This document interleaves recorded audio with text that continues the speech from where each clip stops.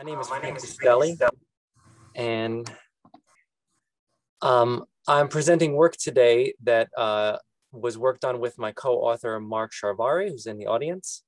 And today we're going to talk about why students do not turn on their video cameras during online classes. And I'm going to present an equitable and inclusive plan to encourage them to do so. And then some follow-up information on how that plan has worked for us. So first to describe our course. Our course is an introductory biology laboratory course. It's an inquiry-based course. And the normal structure of the course when we were in uh, the before times was one 50-minute lecture per week and one three-hour lab section per week. And the data I'll be presenting today will be mostly from the spring 2020 semester during which we had the emergency transition to uh, remote teaching. During that semester, we had 312 students roughly, and we have 12 graduate student laboratory instructors, each teaching two sections, so 24 sections. And we uh, most of those sections have an undergraduate teaching assistant, and the section sizes are capped at 18 students. So these are the sizes and the description of the classes that I'll be presenting data from. When we, before I show that graph, when we first made this transition, we were nervous. We did not know what would be reasonable to expect of the students. They were given two weeks to leave campus, go home, reestablish themselves. And we weren't even sure if it was um, reasonable to think that they could synchronously remotely connect to lab section. And so we polled our students and found out the vast majority of them had access to webcam and an internet access, uh, you know, a reliable internet connection. And the very few that did not, we arranged um, them to access university resources and made alternatives. So we recorded class sessions and students who were in uh, in conducive time zones were offered to switch sections. So we, we went out of our way to try to make the transition as best we could. We decided also to make the lecture pre-recorded and that the, la uh, the lab sections would be synchronous remote sessions via Zoom happening live. This graph is to show how we did that semester during the remote transition. So students anonymously at the end of the semester and student evaluations said that we did a moderately good job. And you can see that uh, many students, though, we did an extremely good job. And so the students were happy with how the class went. When we switched to remote teaching, we were hoping that when we connected to class, we would see all of our students bright and smiling with their cameras on. And what we were learning from our prep meeting was that la many laboratory instructors were reporting that in actuality, what they were seeing were a lot of black boxes, uh, sometimes with not even clear names on display or no thumbnail images. And it was somewhat frustrating for uh, several of these instructors. And so I thought, well, how can we encourage camera use?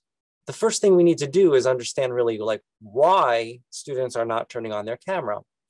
But before I get into that, I want to discuss the benefits of camera use. Why care about this at all? Why should we even care about encouraging camera use?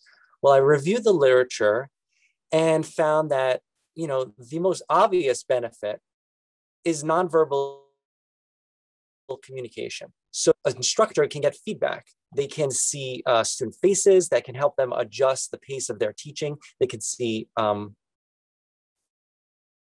sorry, I had a glitch there. Let me know if you lose visual. They can see uh, smiles and frowns. You can tell when your students are bored. Okay, it's time to move on. You could see looks of confusion. This is more, perhaps the most obvious benefit we also have students interacting with each other in group. We have some group work. They work on projects together. They're in uh, active learning discussion groups where they talk with each other. And literature shows that student-student interactions also benefit from being able to see each other's faces.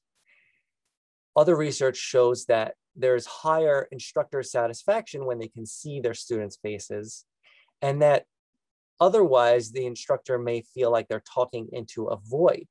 Now, it is not a uh, student-centered approach just to simply care about what the feelings of the instructor are.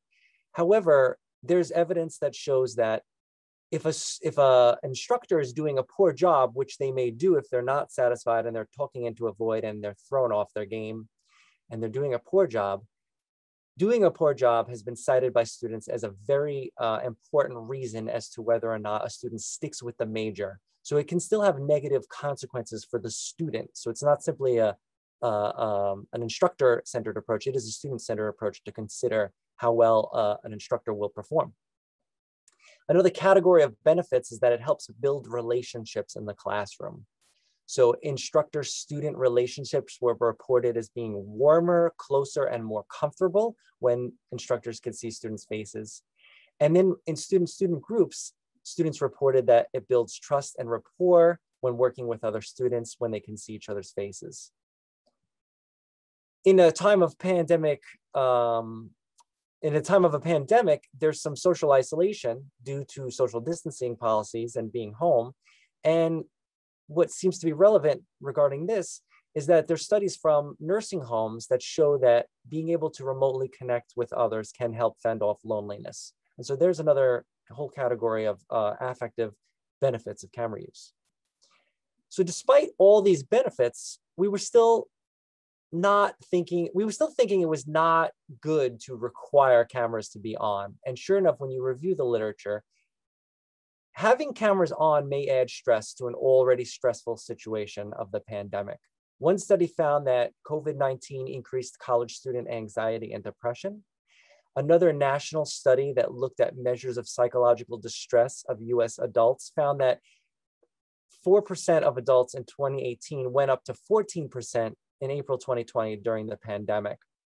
And these negative effects may be worse for some of our students, some students than others. In that same national study, young adults went up even more in stress, and most of our students in, in our demographics are young adults.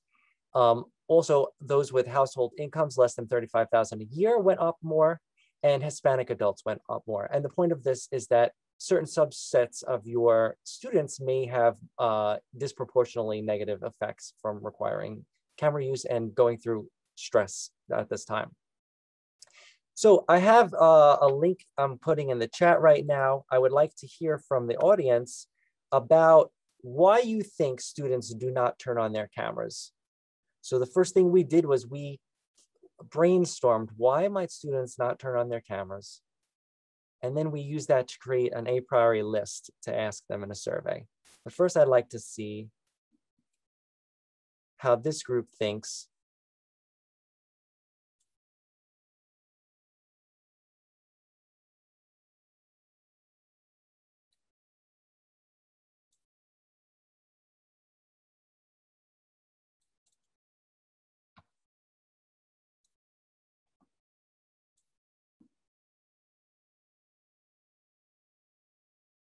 I'm attempting to share the results screen, but I'm having a technical glitch that I've never seen before.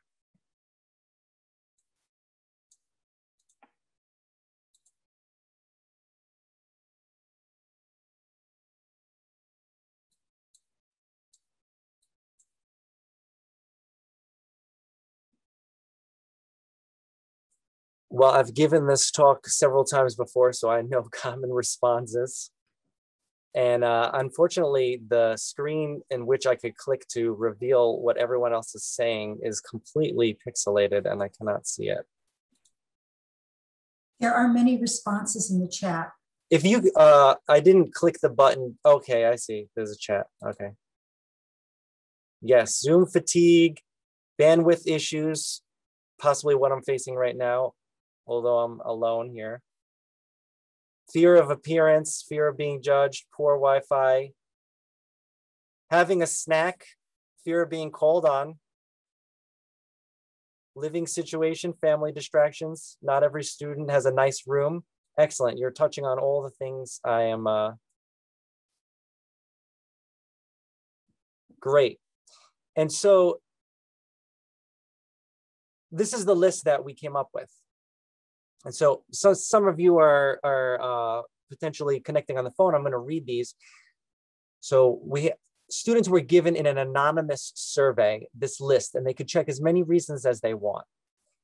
not applicable. I always had my camera on. I felt like everyone was looking at me the whole time. I was concerned about my appearance. I was concerned about other people being seen behind me. I was concerned about my physical location seen behind me. I was concerned about distracting my lab instructor. I was concerned about distracting my classmates.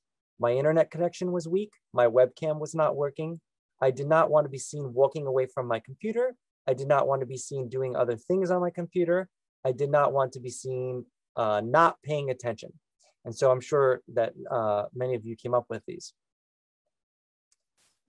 And uh, the next poll was to um, ask you which one you think was the most popular.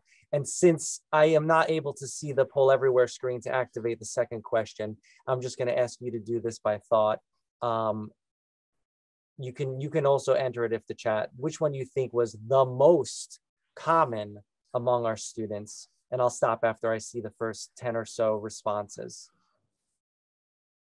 in the chat. And we have about two more minutes. Okay, thank you. Appearance, physical location. Well, it turned out that I was concerned about my appearance was the most popular uh, response given. And as you can see, the uh, things that many instructors may be nervous about, like the cynical reasons, like I'm not paying attention or I'm walking away from the computer, were actually low on the list. Um, and student, this was anonymous. I was concerned about other people being seen behind me. My internet connection was weak. I felt like everyone was looking at me the whole time. I was concerned about my physical location. These were higher on the list. Students could also write in their own answer. Um, but first I wanna say that when you analyze the breakdown between underrepresented minorities in STEM as defined by the NSF, we found that URM students were more likely to say they were concerned about people being seen behind them their internet connection being weak, and they were concerned about their physical location. And so this right here shows you that forcing cameras to be on can have a disproportionate negative effect towards underrepresented minorities in the classroom. And so we were justified in not requiring it. And we suggest that you also do not require it. Um, another thing that we learned is that the other reasons given, the most popular reason given was some form of it was the norm. No one else had it on, so I shut mine off as well. Everyone else had theirs off. I felt awkward having mine on. And then, of course, uh, because appearance was uh, so significant, many students felt like they needed to elaborate. And there were some other rarer ones. Now, this all of this study, all of this data led to these suggestions. And you could read about this in our published paper uh, if you go to tinyurl.com slash zoom camera paper, you can or search my name or you look at the uh, Whova uh, profile link, you'll see a link to the paper which discusses this more in, in detail. But uh, in the interest of time, I want to very quickly uh, say what we did this semester. And you know, we don't want to require cameras to be on, I would like to read this from a student. I would like to mention that no one should assume the living conditions of students when not on campus. Some students live in the worst conditions possible. And that right there sums it all up. It's really not good pedagogical practice to require cameras to be on. And so I want to show you one thing we tried this semester. I'm going to skip ahead. Um, we created a, a series of slides that would remind students at the beginning of every lab section, please turn on your cameras for the entire class if you're comfortable doing so. So being explicit and then also explaining why. Teachers can better pace if they can see your face. Came up with a little pithy rhyme. Many students report that having cameras on makes class more enjoyable. And these memes were created by our students uh, for an exercise in previous classes to kind of joke, get their attention. We had a different meme every class.